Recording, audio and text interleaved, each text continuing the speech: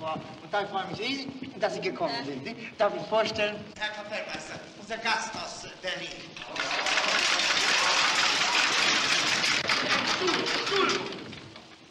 Haben Sie Ihr Fernbuch? Sind Sie ermüdet? Ja, ich bin etwas müde.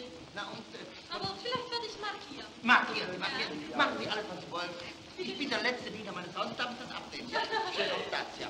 Schön.